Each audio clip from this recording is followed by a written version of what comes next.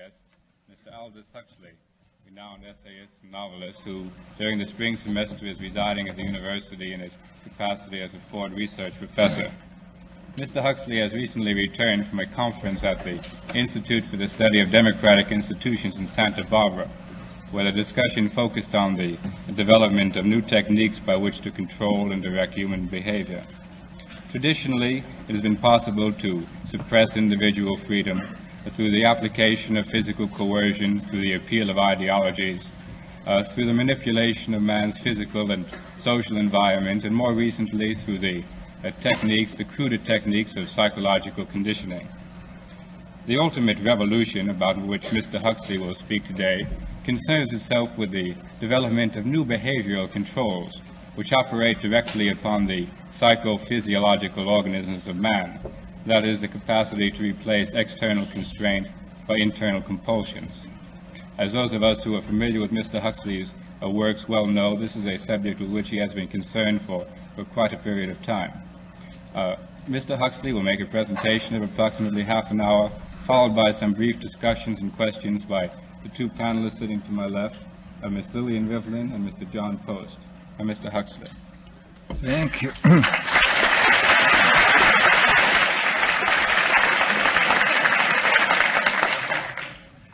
uh, first of all, the, uh, I'd like to say that the conference at Santa Barbara was not directly concerned with the control of the mind. That was uh, a conference, there have been two of them now at the University of California Medical Center in San Francisco. One this year, which I didn't attend, and one two years ago, where, where there was a considerable discussion on this uh, subject. At Santa Barbara, we were talking about technology in general and the, um, the effects it's likely to have on society and the problems uh, related to uh, technological transplanting of technology, technology into underdeveloped countries. Well, now, in regard to this problem of, uh, of the ultimate revolution, uh, this has been very well summed up by the moderator. Uh, in the past, we can say that uh, all revolutions have essentially aimed at changing uh, the environment in order to change the individual. I mean, there's been the uh, political revolution, the economic revolution, uh, in the time of the Reformation, the religious revolution.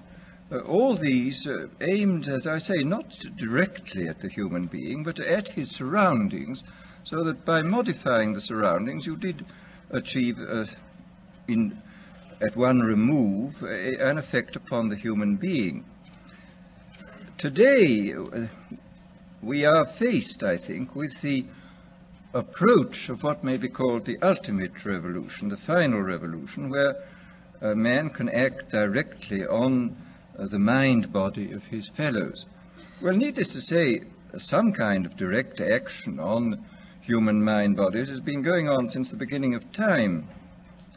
Uh, but this has generally been uh, of a violent nature. The techniques of terrorism have been known from time immemorial, and uh, people have employed them with more or less uh, ingenuity, sometimes with uh, the utmost crudity, sometimes with a, a good deal of skill uh, acquired uh, by a process of trial and error, finding out what the best ways of uh, using torture, imprisonment, constraints of various kinds. Uh, but uh, as um, I think it was Metternich said uh, many years ago, you can do everything with bayonets except sit on them. that if you are going to control any population for any length of time, you must have some measure of consent. It's exceedingly difficult to see uh, how pure terrorism can function indefinitely. It can function for a fairly long time, but I think uh, sooner or later you have to bring in an element of persuasion, an element of, of getting people to consent to what is happening to them. Well, it seems to me that the, the nature of the ultimate revolution with which we are now faced is precisely this, uh, that we are in process of developing a whole series of techniques which uh, will enable the controlling oligarchy, who have always existed and presumably always will exist, uh, to get people actually to love their servitude. Uh, this is the, seems to me the, the ultimate uh, in malevolent revolution, shall we say.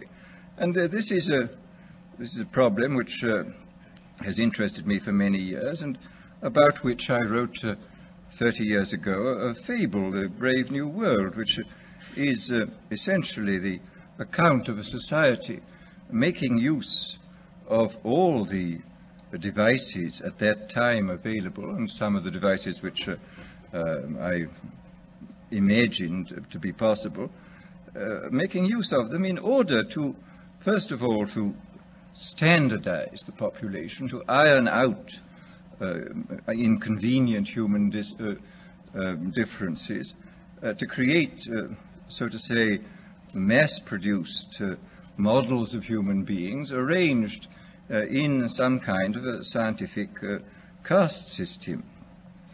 And uh, since then, I have con- continued to be extremely interested in this problem, and I have noticed with increasing dismay that uh, a number of the predictions which were purely fantastic when I made them 30 years ago uh, have come true or, seem in process of coming true, that a, a number of techniques about which I talked seem to be here already, and that there seems to be a general movement uh, in the direction of this kind of ultimate revolution, this, this method of control uh, by which uh, people can be made to enjoy a state of affairs which, by any decent standard, they ought not to enjoy. Uh, this, I mean, the enjoyment of, uh, of servitude. Well, uh, this, um, this process, as I say, has uh, gone on for over, over the years, and um, I become more and more interested uh, in what is happening. And here I would like uh, briefly to, to compare what, the parable of Brave New World with uh, another parable which was put forth more recently uh, in uh, George Orwell's book 1984. Uh, Orwell wrote his book between, I think, between 45 and 48, uh, at the time when the Stalin, Stalinist uh, terror regime was still in full swing, and just after the collapse of the Hitlerian terror regime. And his book, uh, which I admire greatly, it's a book of very great talent and extraordinary ingenuity, uh, shows, um, is so to say, a projection into the future of the immediate past, of what for him was the immediate past, and the immediate present. It was a projection into the future of a society uh, uh, where control was exercised wholly by terrorism and uh, violent uh, attacks upon the mind body of individuals. Whereas uh, my own uh, book, which was written uh, in, in, 1932, when there was only a, a, mild dictatorship in the form of Mussolini uh, in existence, was not overshadowed by the idea of terrorism, and I was therefore free in a way which Orwell was not free, uh, to think about these other methods uh, of control, the, these um, non-violent methods. And my, I'm inclined to think that uh, the scientific dictatorships of the future, and I think there are going to be scientific dictatorships in many parts of the world, will be probably a good deal nearer to the Brave New World pattern uh, than to the 1984 uh, pattern. They will be a good deal nearer, not because of any humanitarian qualms in the scientific dictators, but simply because the Brave New World pattern is probably a good deal more efficient than the other. That if you can uh, get people to consent to the state of affairs in which they are living, the state of servitude, the state of being, having their differences ironed out and being made uh, amenable to mass production methods on the social level, if you can do this, then you have uh, you are likely to have a much more stable and much more lasting society, uh, a much more easily controllable society than you would if you were relying wholly on clubs and firing squads and concentration camps. Uh, so that uh, my own feeling is that the 1984 picture uh, was tinged, of course, by the uh, immediate past and the present in which Orwell was living, but that the, uh, that the past and present of those years does not represent, I feel, uh, the likely trend of what is going to happen. Needless to say, we shall never get rid of terrorism. This will always uh, find its way to the surface.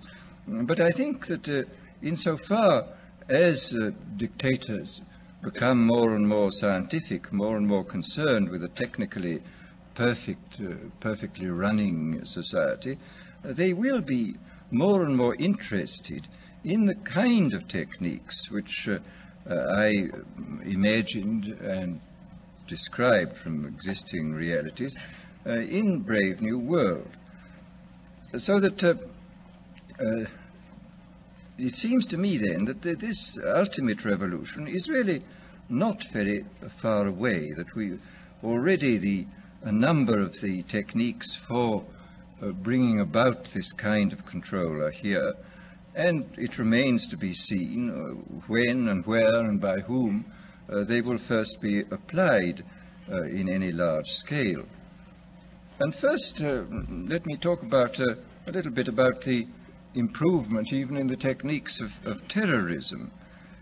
I think there, there have been improvements. The, the um, uh, Pavlov, after all, made some extremely profound observations, both on animals and on human beings. And he found, among other things, that, uh, uh, that uh, conditioning uh, techniques applied to animals or humans in a state either of psychological or physical stress uh, sank in, so to say, very deeply into the mind body of the creature and were extremely difficult to get rid of, that they seem to be embedded more deeply than, than other forms of conditioning. And um, this, of course, uh, this fact, I think, was discovered empirically in the past. People did make use of, uh, of many of these uh, techniques. But uh, the difference between the, the old empirical intuitive methods and our own methods is, the difference between a sort of hit and miss uh, uh, craftsman's point of view and the genuinely scientific point of view. I mean, I think there is a real uh, difference between ourselves and, say, the inquisitors of the 16th century. We know much more precisely what we are doing uh, than they knew, and we can extend, because of our theoretical knowledge, we can extend uh, what we are doing over a wider area with a greater assurance of, of, uh, of being, uh, producing something which really works. In this context, I would uh, uh like to mention the extremely interesting chapters in uh, Dr. William Sargent's uh, um, Battle for the Mind, where he uh, points out how intuitively uh, some of the great uh, religious teachers, leaders of the past, hit on the Pavlovian method. He, he speaks specifically of, of, Wesley's method of producing conversions, uh, which were essentially based upon a, a technique of, of heightening psychological stress to the limit by talking about hellfire, and so making people extremely vulnerable to suggestion, and then suddenly releasing this stress by offering hopes of heaven and uh, this is a very interesting chapter of showing how, uh, how completely, on, a, on, purely intuitive and empirical grounds, a, a skilled natural psychologist, as Wesley was, uh, could discover these uh, Pavlovian uh, methods. Well, as I say, we now know the reason